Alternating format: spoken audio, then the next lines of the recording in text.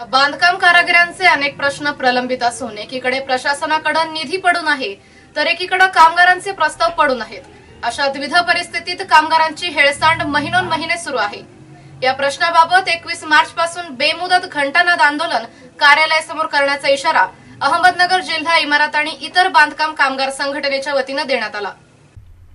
बांधकाम कामगारांच्या प्रलंबित प्रश्नांबाबत धरणे आंदोलनाची पूर्वसूचनेबाबत अहमदनगर जिल्हा इमारत आणि इतर बांधकाम कामगार संघटनेचे कार्याध्यक्ष श्री शंकरराव घुले यांनी महाराष्ट्र इमारत आणि इतर बांधकाम कामगार कल्याणकारी मंडळाला निवेदन दिलंय.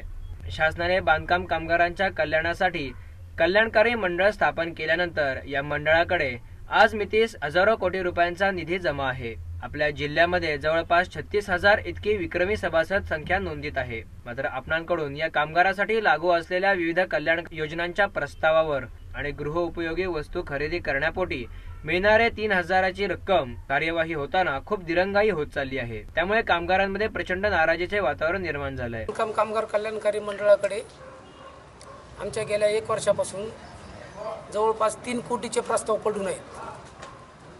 या सहाय्यक कामगार आयुक्त कार्यालयाने आमच्या एक वर्षापासून त्या प्रस्तावावर अद्याप कोणतीही कारवाई केलेली नाही.